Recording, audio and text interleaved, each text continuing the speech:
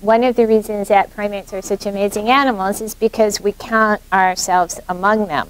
And even Darwin recognized this.